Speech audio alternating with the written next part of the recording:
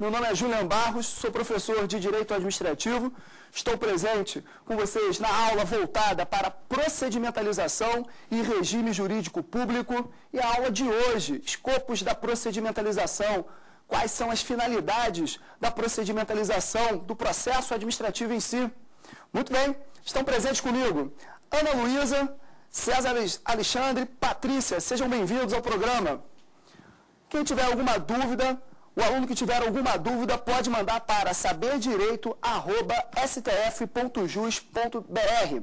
saberdireito@stf.jus.br. Peço para todos vocês identificarem o nome da matéria, do tema e do professor, tá? Por favor. Terei o maior prazer de responder todas as dúvidas encaminhadas. Na aula passada, na aula 1, falamos sobre regime jurídico público. Qual foi a perspectiva apresentada? Estamos acostumados com um direito administrativo voltado para um regime jurídico diferenciado do regime civil. Um regime jurídico fundamentado por dois princípios básicos: supremacia do interesse público sobre o interesse privado e indisponibilidade do interesse público. Devo frisar que alguns autores, como a professora Maria Silva Zanella de Pietro, fundamentam esse regime jurídico em supremacia do interesse público e legalidade, princípio da legalidade. Essa perspectiva tradicional vai fornecer um conjunto de prerrogativas, um conjunto de liberdades, um conjunto de poderes para a administração pública na realização do bem comum, na realização, na gestão da atividade administrativa, na prestação de serviços públicos em si. Esse regime também interfere, impondo uma série de prerrogativas, uma série de restrições, uma série de sujeições para a administração pública voltados para a indisponibilidade. Esse regime jurídico de direito administrativo tradicional, ele fornece, tem como consequência discricionariedade, ato de império, ato político, possibilidade de desapropriação e outras prerrogativas asseguradas pela legislação em vigor. Senhoras e senhores, não podemos mais conviver com o interesse público que não tem fundamento em si. Existem várias objeções para esse interesse público. Falta elementos para a definição do interesse público. Não podemos aceitar que a administração pública tenha o poder escondida nesse tal de interesse público. O interesse público por si só, ele gera subjetivismo, ele gera atos arbitrários, ele gera atos ilegais, ele precisa ser evitado. Numa nova perspectiva, num novo cenário jurídico voltado para a implementação, para a efetivação dos direitos e garantias fundamentais, direitos esses inúmeros previstos na Constituição de 88, precisamos direcionar a aplicação do direito administrativo apenas para a implementação desses direitos fundamentais. É necessário chegar ao interesse público por ser ele indisponível. Primeiro, você precisa afirmar que o interesse é indisponível. A partir daí, você fala em supremacia daquele interesse. Como fazer para chegar ao interesse indisponível? Os processos normais de hermenêutica, de interpretação, ganha destaque, sem dúvida alguma, os princípios da proporcionalidade e razoabilidade. Mas, lógico, você não pode abandonar os outros, os, as outras formas de interpretação. Interpretação conforme a Constituição, unicidade da jurisdição, supremacia da Constituição, interpretação conforme a lei, interpretação declaração de inconstitucionalidade sem redução de texto, interpretação conforme, os outros processos de hermenêutica também são importantes e não devem ser abandonados na definição daquele direito, para alcançar o direito indisponível. Importante também o caso clássico da defesa do núcleo da dignidade da pessoa humana, do mínimo existencial. Mas isso é voltado para outra aula. A aula, o curso ele pretende informar a procedimentalização. Como fazer para procedimentalizar, como fazer para realizar os direitos fundamentais. O aspecto principal é o processo administrativo em si. Aula passada, então, quebrei a tradicional forma de divisão do regime jurídico da administração pública e a nova perspectiva apresentada foi realização dos direitos fundamentais e procedimentalização dos direitos fundamentais. Ótimo. Por que procedimentalizar? Por que o Estado deve procedimentalizar? Lembrando que o processo é um instrumento. O processo é um instrumento que o Estado utiliza para alcançar alguma finalidade. A procedimentalização é a exteriorização desse processo em si. É importantíssima, até mesmo por conta do devido processo legal. É importante procedimentalizar, senhoras e senhores, por três aspectos fundamentais. Antes disso, vamos lembrar que o Estado tem várias formas de procedimentalizar. Ele deve utilizar a opção do legislador ou das instituições democráticas legitimadas para regulamentar aquele procedimento. O princípio da legalidade ele tem sido reinterpretado. Ele deve utilizar lei de licitação, ele deve utilizar lei de processo administrativo disciplinar, ele deve utilizar lei de procedimento fiscal, ele deve utilizar as leis de processo administrativo de uma forma geral, ganha destaque sem dúvida nenhuma a Lei 9784 de 99, uma lei voltada para a administração direta e indireta da União Federal, a Lei de Processo Administrativo do Estado de São Paulo, importante, a recente lei do processo administrativo do Estado do Rio de Janeiro, a 5427 de, 0, de 2009, que trouxe outros institutos, outros princípios que eu vou analisar mais para frente. Por que o Estado deve procedimentalizar?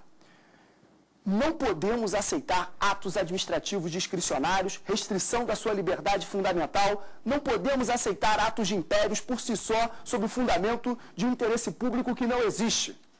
É necessário o Estado demonstrar como foi que ele alcançou aquele interesse público. O primeiro escopo da procedimentalização é o controle. Procedimentalizar possibilita controle. A partir do momento que o Estado demonstra o procedimento que ele utilizou, é possível toda a sociedade aferir se aquele procedimento foi legal ou ilegal, se o interesse público que ele alcançou realmente existiu. Utilizando os processos dispostos na legislação, utilizando a legislação em vigor, a administração pública ela consegue deixar de forma bem transparente a sua atuação vocês sabem que a atuação transparente da administração pública está voltada para o princípio da publicidade, princípio fundamental da publicidade. O princípio da publicidade é tão importante que está previsto como direito fundamental no artigo 5 artigo 5 inciso 33, artigo 5 inciso 34, e princípio da publicidade também previsto expressamente no artigo 37 da Constituição Federal, um princípio expresso para a administração pública no artigo 37. Esse princípio da publicidade, ele determina que a administração pública atue de forma transparente. A transparência dos atos da administração pública, ela deve ser exigida porque ela está fazendo gestão de interesse coletivo, interesse público para a implementação das garantias individuais. É necessário que a sociedade, que o cidadão, que o jurisdicionado, que você tenha noção por que é que a administração pública alcançou o interesse público a partir do momento que ela alcança o interesse público, a partir do momento que ela realiza um ato administrativo, ela precisa mostrar para a sociedade a forma pela qual ela chegou naquele ato administrativo. O ato administrativo ele não pode ser interpretado de uma forma estanque e isolada. É necessário utilizar o procedimento estabelecido na lei. Controle da sociedade, senhoras e senhores, existe uma série de controle da administração, uma série de forma, de formas de controle da administração pública. Existe controle interno, a própria administração pública controla os seus próprios atos. Se ela procedimentaliza, se ela utiliza um processo de uma forma mais eficaz, é utilizado esse controle interno, normalmente voltado para o princípio da hierarquia, porque compete aos órgãos públicos, às autoridades administrativas, fiscalizarem os seus subordinados, controlarem os atos dos seus subordinados. O controle externo fica mais fácil realizar o controle externo controle externo da administração pública que ocorre quando outros órgãos que não fazem parte daquela estrutura que proferiu a decisão realizam esse controle. Um controle normalmente do poder legislativo, auxiliado pelos tribunais de contas, um controle utilizado pelo poder judiciário, um controle utilizado pelo Ministério Público, Ministério Público com um papel fundamental na fiscalização de todo o Estado, artigo 127 da Constituição, uma instituição permanente voltada à defesa dos princípios indisponíveis, sobre as garantias indisponíveis dos direitos sociais. Essa procedimentalização da administração pública possibilita controle, e isso é importantíssimo numa sociedade democrática. Primeiro ponto é esse: facilitar controle, evitar subjetivismo, evitar atos arbitrários, evitar o interesse público por si só de uma forma estanque. devemos exigir da administração pública a procedimentalização. Se processo facilita controle, volto a afirmar o defendido na primeira aula. Um procedimento, um ato administrativo sem procedimentalização, ele tem presunção de ilegalidade. É necessário os aplicadores do direito, é necessário o Estado juiz implementar essa diretriz. Processo, ato administrativo sem processo, ato administrativo estanque, ato administrativo escondido no interesse público sem, sem procedimentalização, deve-se presumir essa invalidade. Eu inverto o ônus da prova, vai caber à administração pública agora provar que o ato é o quê? É legal. Primeiro, então, o escopo, controle. Segundo o escopo apresentado, senhoras e senhores, é um instrumento democrático. Se eu procedimentalizo uma decisão administrativa, eu facilito, eu implemento a democracia. Vamos lembrar, vamos lembrar que todo poder emana da onde, senhoras e senhores? Vivemos numa república. República federativa. Todo poder emana do povo. Res pública, o poder vem do povo. Vai no artigo 1 parágrafo único da Constituição. Se existe um poder constituinte, o seu titular é a sociedade. O titular é o cidadão. Se existe uma forma constituída e organizada, e organizada de implementação das garantias fundamentais, se existe Constituição, se existem regras instituídas, sem dúvida nenhuma isso está voltada para o povo. Ele é o titular desse poder. A partir do momento que a administração pública procedimentaliza, que ela exterioriza, quando ela chegou a uma conclusão, eu implemento democracia. Por que eu implemento democracia? Primeiro, eu evito a arbitrariedade, eu evito o autoritarismo. Eu evito voltar no passado em épocas de sistemas absolutistas. Eu possibilito informação. Eu possibilito aos interessados participarem do processo administrativo. Quando a administração pública realiza um ato de poder de polícia, uma decisão discricionária, quando a administração pública, inclusive, realiza regulamentação de uma norma, ela tem que abrir para uma fase externa participação dos interessados. A partir do momento que os interessados naquela decisão podem, possam participar, senhoras e senhores, eu tenho uma democracia. Eu escuto os diferentes segmentos da sociedade. Vivemos numa sociedade com várias formas de fragmentação. Uma sociedade plurima, com várias ideias.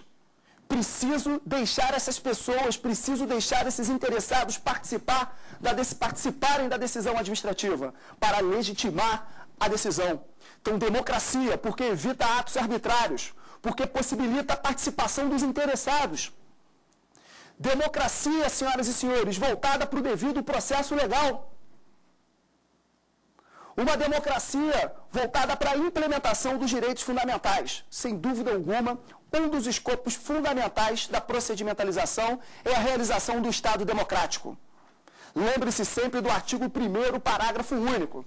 É lógico, senhoras e senhores, que às vezes temos procedimentos administrativos que devem ser sigilosos. Nenhum princípio é absoluto. Nenhum princípio é absoluto, salvo o mínimo existencial. Tenho certeza, estou ciente e defendo que o mínimo existencial é uma garantia absoluta. Mínimo existencial, aquilo que você precisa para sobreviver, aquilo que você precisa para ser gente, eu não posso valorar. Eu não posso achar que você é um plâncton, uma árvore. Não tem como. Você é um cidadão. E o mínimo para você ser considerado como gente é necessário o Estado implementar. Esse mínimo é absoluto. Todos os outros princípios, naturalmente, são princípios relativos. E, naturalmente, utilizamos o princípio da razoabilidade e da proporcionalidade para chegar à solução mais adequada. Mas, ressalvadas hipóteses de, exceção, de exceções constitucionais, defesa da garantia é, de direitos individuais, da, moralidade, da individualidade do ser humano, da proteção do Estado em determinados atos, o processo administrativo ele deve ser público devo possibilitar a participação de qualquer interessado, deve ser feito de forma totalmente transparente. Faço uma procedimentalização voltada para o artigo 1 parágrafo único da nossa Constituição Federal. Outra, outra finalidade do procedimento administrativo é a proteção do patrimônio público. Vivemos épocas de denúncia da administração pública, de malversação do dinheiro público. O dinheiro público, senhoras e senhores, ele não é infinito. As pessoas pensam que o dinheiro público vem do além. Não vem do além, vem da sociedade. É necessário preservar o patrimônio público. É necessário preservar a probidade administrativa. Temos a Lei 8429 de 92, a Lei de Improbidade Administrativa. Sem dúvida nenhuma que a finalidade do legislador foi a melhor possível, a mens legis foi a menor, melhor possível, mas é uma lei que começa, começamos a discutir a sua eficiência, uma lei que vai definir condutas improbas. Condutas que vão causar lesão ao erário, condutas que vão causar lesão aos princípios da administração pública e enriquecimento ilícito.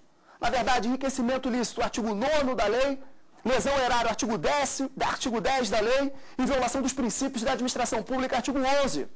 A lei de improbidade administrativa ela vem fazer defesa do patrimônio público. Que patrimônio público? O patrimônio público do artigo 1 da lei. Considera o patrimônio público o patrimônio de toda a administração pública direta, da administração pública indireta. Considera o patrimônio público também daquelas entidades controladas pelo poder público, onde o poder público investe dinheiro, tem mais de 50% do seu patrimônio anual, da sua receita. E também vou defender aquele patrimônio daquelas entidades que o poder público tem menos de 50% do seu valor, da sua receita anual. Mas muito bem, isso é papo para outra aula, falar sobre a lei de improbidade administrativa. Mas não basta a lei de improbidade administrativa. Eu preciso ter outros instrumentos de controle do patrimônio público. O aplicador do direito, senhoras e senhores, precisa exigir isso do agente público, do agente político. Quem implementa as diretrizes políticas precisa demonstrar para a sociedade por que é que alcançou aquela finalidade. Por que é que utilizou uma verba orçamentária para um lado e não utilizou para o outro?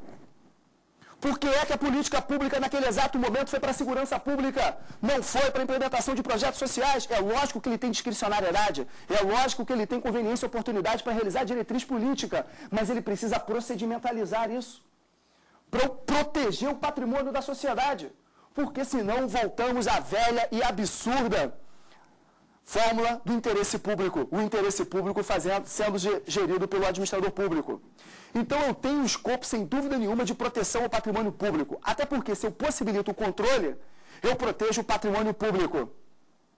E o patrimônio público, não podemos abrir mão do patrimônio público. O patrimônio público, sem dúvida nenhuma, é um direito coletivo. Na verdade, um direito difuso foi elevado a grau máximo pelo constituinte originário.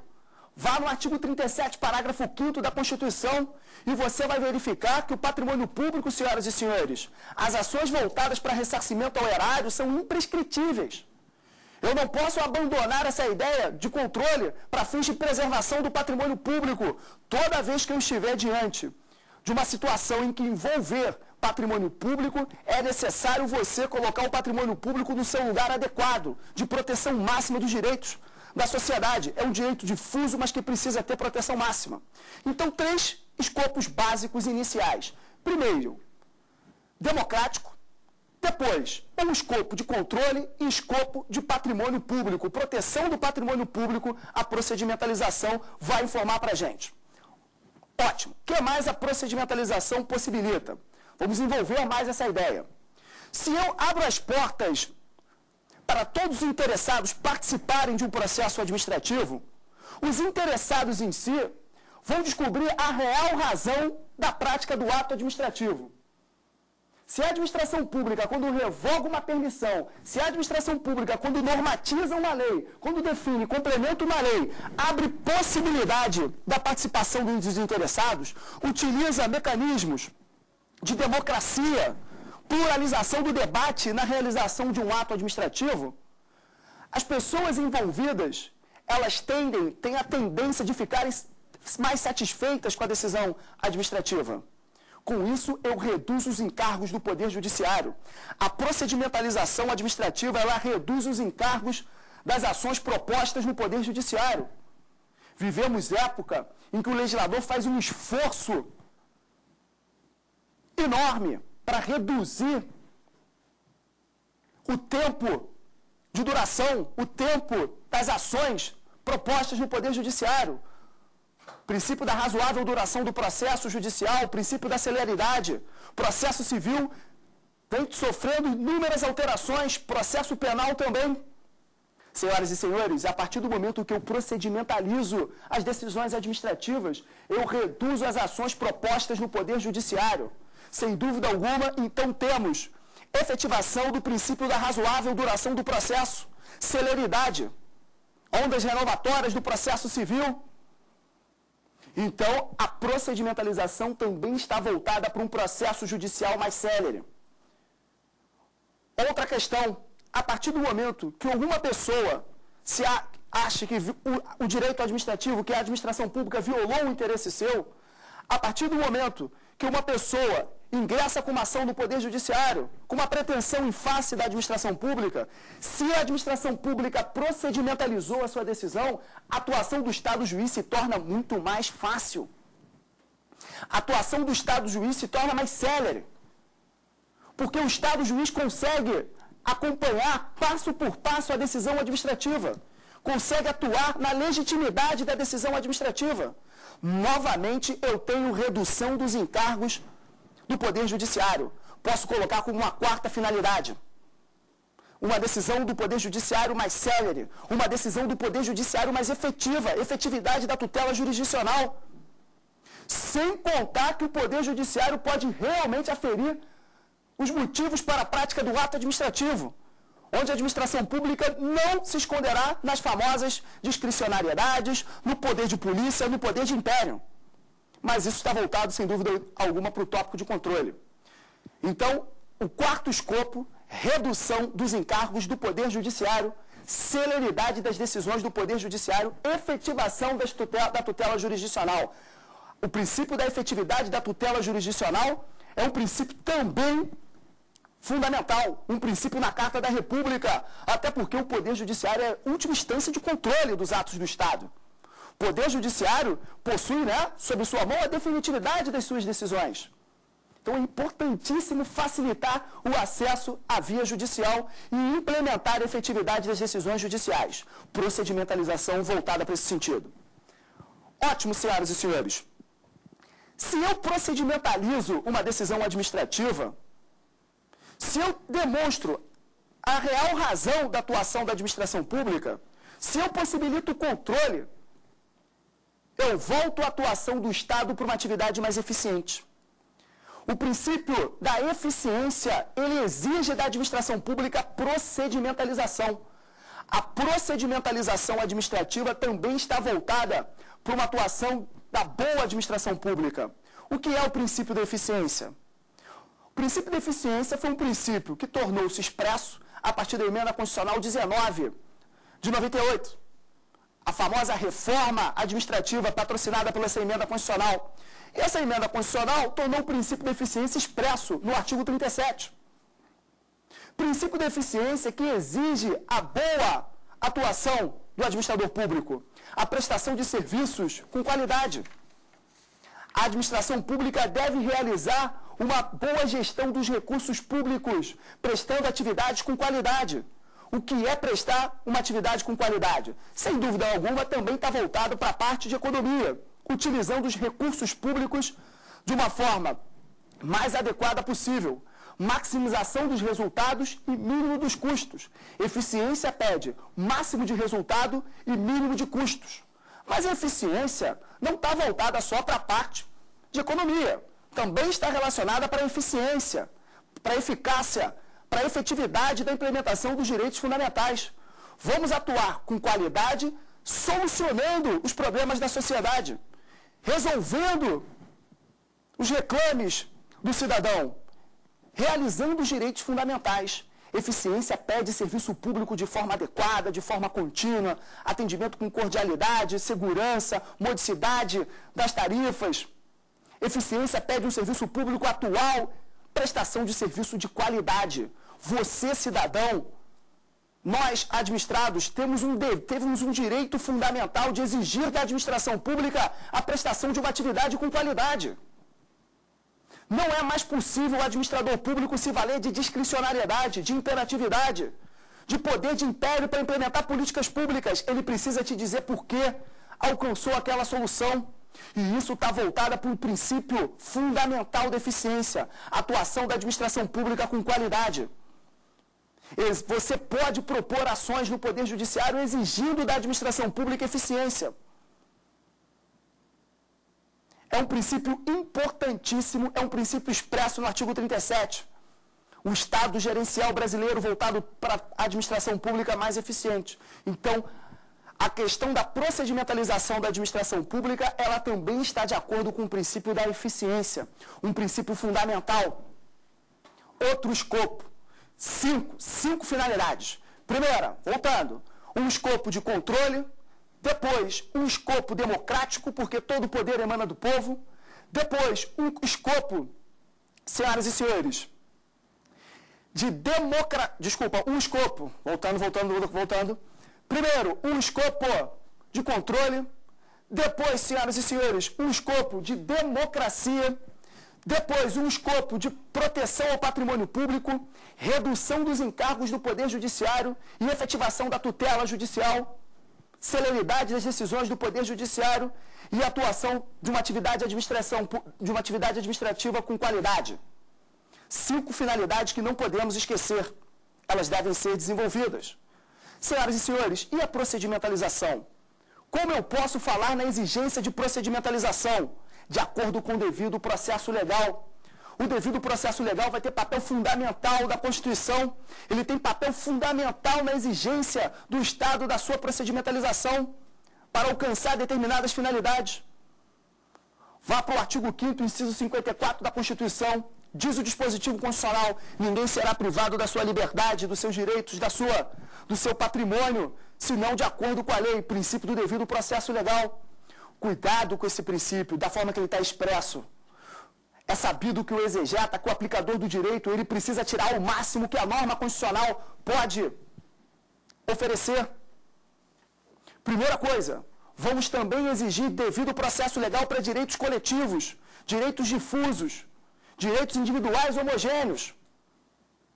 Não utilizem ninguém apenas para pretensões individuais. Isso é uma farsa. Ninguém também voltado para a proteção dos direitos coletivos, dos direitos, dos direitos difusos. Na verdade, direito difuso é um gênero que vai abarcar dentro dele os direitos difusos propriamente ditos, os direitos coletivos e as pretensões individuais homogêneas. Patrimônio público, defesa da segurança pública, urbanidade, meio ambiente ecologicamente equilibrado, patrimônio cultural, a questões, as questões voltadas para a defesa do consumidor, criança e adolescente, idosos, na verdade, pessoas que estão em estado de vulnerabilidade. Toda a defesa desse direito coletivo, ela também precisa ser procedimentalizada. Quando o Estado alcançar, quando o Estado quiser alcançar uma finalidade, ele também precisa procedimentalizar se essa tutela envolver proteção de direito difuso. É necessário abrir as portas para a coletividade participar, não apenas pretensões individuais. Então vamos interpretar esse devido processo legal de uma forma extensiva. Senhoras e senhores, o devido processo legal, artigo 5 inciso 54 da Constituição, cuidado, você também deve exigir do Estado a sua realização quando não existir um procedimento acusatório. Muito comum, isso por culpa dos tribunais, por culpa inclusive dos tribunais superiores, a exigência do devido processo legal na esfera administrativa apenas com acusações formalizadas. Negativo. É lógico que eu preciso implementar o devido processo legal voltado também para a ampla defesa, para o contraditório. É lógico. Não estou aqui afirmando o contrário, mas não colocar o devido processo legal apenas na atuação da proteção daqueles que, que têm alguma acusação perante o Estado é necessário procedimentalizar, seguir a lei toda vez que você tiver possibilidade de interessados. Se existe algum interessado na decisão administrativa, é necessário interpretar o devido processo legal na sua forma máxima. Então, não vamos reduzir o devido processo legal apenas para quando existir acusação. Isso é um erro, um erro muito comum, principalmente em procedimento administrativo disciplinar. A legislação do processo administrativo disciplinar é terrível.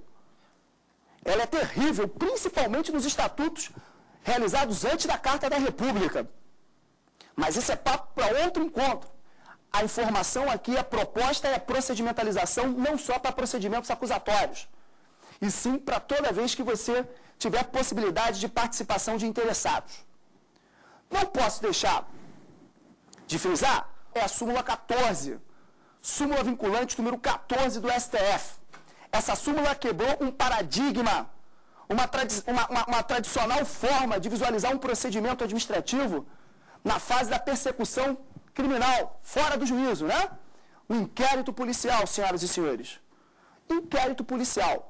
Inquérito policial, processo penal, professor? É, mas aqui o interessante não é analisar os aspectos voltados para a legislação processual penal. O inquérito policial é um inquérito pré, é uma fase pré-processual, uma fase administrativa. Ela guarda realces com institutos do direito administrativo. Sempre o estudante do direito ao visualizar o inquérito policial, tinha características básicas. Inquérito policial é informal, porque o procedimento administrativo, regra geral, é informal também. O inquérito policial deve ser escrito, porque o procedimento administrativo é escrito. Verdade material do inquérito policial, porque existe verdade material também no procedimento administrativo. Mas, tradicionalmente, utiliza-se o inquérito policial como um procedimento que não é acusatório, é um procedimento inquisitivo. Qual é a finalidade do inquérito policial? Colher elementos, colher provas da materialidade de uma infração e indícios da sua autoria. Vamos colher elementos, a polícia judiciária vai colher elementos da materialidade, da existência daquele crime e de sua autoria. A partir desses elementos colhidos, vai remeter os autos do procedimento ao titular da ação penal, o Ministério Público, o parquê, para esse realizar o seu juízo de valor na pretensão penal. Senhoras e senhores, como é um procedimento inquisitivo, em que ninguém está sendo acusado de nada, sempre foi negado acesso à procedimentalização do inquérito policial aos interessados. É um procedimento inquisitivo. Os interessados não têm acesso, até por conta do sigilo na investigação, até por conta da defesa do Estado, na defesa dos bens jurídicos fundamentais que foram violados com, a, com o provável cometimento de crime. Esse argumento ele é é possível até entendermos como válido, mas não, não podemos esquecer que aquele que tem contra si um inquérito policial tem uma fumaça que o Estado vai promover uma ação penal contra ele. Você não vai ficar tranquilo ao saber que existe um inquérito policial instaurado em seu nome. Ah, é apenas um procedimento inquisitivo. Depois já viu uma ação penal, tranquilo princípio da presunção de inocência, ninguém será considerado culpado até o trânsito julgado da sentença condenatória. É muito fácil falar isso. Quando o seu nome não está no inquérito policial, é sabido que existem investigações penais de crimes prescritos, de condutas atípicas. O Estado precisa possibilitar controle. E a súmula vinculante 14 veio nesse sentido, permitir acesso o indiciado, ao procurador do indiciado, as provas produzidas no inquérito policial, como instrumento de defesa. A fundamentação da súmula foi instrumento de defesa, muito bem, mas o interessante para nós é o instrumento da procedimentalização, do Estado começar a exigir da atuação administrativa a procedimentalização de acordo com as leis em vigor. E não utilizar a defesa da sociedade, a defesa do direito coletivo, a defesa de um tal de interesse público para realizar atos arbitrários. A súmula vinculante 14 do STF, ela tem importante aplicação nessa questão da procedimentalização, acesso da procedimentalização dos interessados, acesso aos interessados na procedimentalização do Estado. Começamos a ter uma exigência do STF, o órgão máximo do Poder Judiciário brasileiro, a exigir procedimentalização. Então, palmas para o STF na súmula 14. Muito bem, senhoras e senhores. Vou abrir possibilidade de perguntas para os nossos alunos. Vamos verificar quais são as dúvidas. Vamos lá. Eu só gostaria de saber se há necessidade de processo administrativo em atos discricionários e vinculados. Ótimo. Pergunta dela muito boa, muito boa. Ela quer saber se existe necessidade de procedimentalização para ato discricionário, se existe necessidade para procedimentalização em ato vinculado. Por que, provavelmente? Porque o Estado, no ato administrativo discricionário, vocês sabem, a lei deu uma conveniência, uma oportunidade para o administrador público valorar determinados elementos do ato administrativo. Para o ato administrativo ser realizado, ele precisa ter cinco elementos. Quais são esses cinco elementos? Competência, finalidade, forma, motivo e objeto. Competência. O agente público precisa ter atribuição. O órgão o agente público precisa ter atribuição na lei. Finalidade. É necessário que o ato administrativo alcance o interesse público. Forma. O ato administrativo precisa ser esterilizado de acordo com a lei. Motivo. Os fatos e fundamentos que determinam a prática do ato administrativo. Os fatos, né, os pressupostos fáticos e jurídicos que determinam a prática do ato administrativo. E objeto é o efeito que o ato administrativo vai produzir. No ato discricionário, a lei fornece, a lei fornece conveniência e oportunidade para o agente público valorar dois elementos: motivo e objeto. Tudo isso para alcançar um interesse público. Essa discricionariedade administrativa, a conveniência e oportunidade sobre o motivo e objeto, vai realizar o mérito do ato administrativo. Qual é o problema? O Estado, muitas vezes, ele fica escondido no mérito do ato administrativo para realizar atos ilegais.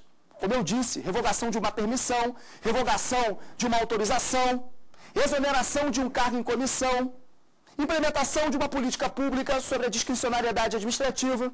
E normalmente o Estado não procedimentaliza atos administrativos discricionários, valendo-se do interesse público que a lei teria fornecido sobre ele conveniência e oportunidade. Entretanto, para facilitar controle, sim, eu preciso exigir da administração pública procedimentalização de atos discricionários, motivação desses atos discricionários. Tudo isso de forma a garantir eficiência da atividade administrativa, controle, processo democrático no ato de administrativo discricionário é imprescindível a procedimentalização. Precisamos quebrar aquele conceito tradicional que o Poder Judiciário não pode controlar a discricionariedade. Errado. Poder Judiciário pode controlar discricionariedade sim. Pode utilizar dos princípios da administração pública para quebrar a discricionariedade. Pode utilizar proporcionalidade e razoabilidade. Pode utilizar moralidade e eficiência para quebrar a discricionariedade. Pode utilizar a teoria dos motivos determinantes teoria dos motivos determinantes, um instituto 50, 60 anos atrás, precisa ser ó, revigorado. Vamos exigir procedimentalização para facilitar a teoria dos motivos determinantes. Uma teoria criada como forma de controle judicial de atos administrativos discricionários. Então chegamos à conclusão que na discricionariedade a procedimentalização é imprescindível. Nos atos vinculados também? Sim, porque nos atos vinculados eu posso ter uma infração clara à lei. Da mesma forma que o ato discricionário pode violar a lei, o ato vinculado também. A diferença do ato vinculado é que a, a lei não fornece liberdade para o administrador público valorar a aplicação, a aplicação da lei ao caso concreto. A administração pública está totalmente vinculada à lei, executa a lei, cumpre a lei. Mas também é necessária a procedimentalização. Outra? A gente considerando aí um, um expressivo, expressivo controle né, sobre a administração pública, poderá de alguma forma o sistema de separação de poder estar sendo violado? Ok, ok, César. Pergunta do César importante. Professor, será que esse escopo de controle não vai reduzir a atuação do administrador público? E isso, consequentemente, pode violar o princípio da separação dos poderes? Princípio que um princípio harmônico, um princípio estruturante de um Estado do Direito, em que cada poder, em cada poder tem a sua função? Será que esse controle viola o princípio da separação dos poderes? Principalmente diante do Poder Executivo, que é o poder, sem dúvida alguma, que realiza os atos administrativos de uma forma majoritária. Devemos entender que não, César. Por que devemos entender que não? Porque, na verdade, as outras instituições só estão cumprindo seus papéis as outras instituições só estão realizando as suas finalidades constitucionais. O administrador público continua tendo conveniência e oportunidade para realizar políticas públicas, continua tendo possibilidade de implementação de política pública. O que não é possível fazer é se esconder na base da discricionariedade a fim de evitar o sistema de controle. Por muito tempo, isso culpa também do Poder Judiciário, as decisões discricionárias O Poder Judiciário falava que não poderia averiguar, não poderia ferir qual o critério utilizado para realizar o ato administrativo, sob pena de violar o princípio da separação dos poderes. Entretanto, num Estado democrático de direito, num Estado que tem devido processo legal, num Estado que tem poder judiciário controlando a legalidade dos atos do, da, da administração pública, por conta, inclusive, do princípio da inafastabilidade da função jurisdicional, artigo 5 inciso 35 da Constituição, devemos entender que não. Eu não vou ter uma diminuição da atividade administrativa. A única coisa que temos, que teremos, é uma diminuição do arbítrio, uma diminuição do sub subjetivismo, da ilegalidade, da conduta administrativa abusiva. Muito bem, senhoras e senhores. Chegamos ao final da nossa segunda aula, chegamos ao final do nosso segundo encontro. Eu apresentei para vocês aqui finalidades da procedimentalização administrativa, uma finalidade voltada para a realização da democracia, um escopo democrático, uma finalidade que possibilita controle dos atos da administração pública, uma finalidade que possibilita proteção ao patrimônio público, uma finalidade que possibilita a realização de um direito fundamental de uma administração pública eficiente, com qualidade. Uma finalidade, senhoras e senhores, que possibilita a redução dos encargos do Poder Judiciário, diminuição da atividade jurisdicional, efetividade da tutela ju judicial, celeridade da tutela judicial. Apresentei para vocês o papel fundamental do devido processo legal nesses escopos. E fiz duas críticas às duas súmulas vinculantes do Supremo Tribunal Federal. Acerto para o Supremo Tribunal Federal na súmula vinculante número 14. Muito bem, senhoras e senhores. Se você tiver alguma dúvida, você pode mandar para saberdireito.stf.jus.br saberdireito.stf.jus.br Por favor, indicar o tema da aula e o professor Julian Barros. Eu convido todos vocês a assistirem essa aula no YouTube, www.youtube.com Saber Direito Aula. Está disponível, é livre acesso. Eu convido para vocês também para assistir os outros programas da família Saber Direito. O Saber Direito Responde e o Saber Direito Debate. Eles também estão disponíveis no YouTube. Olha aí, ó, www.youtube.com barra Saber Direito Responde e www.youtube.com Saber Direito Debate. Todos vocês estão convidados para a minha terceira aula voltada para procedimentalização e regime jurídico público. Eu espero todos vocês. Intel. Até a próxima aula.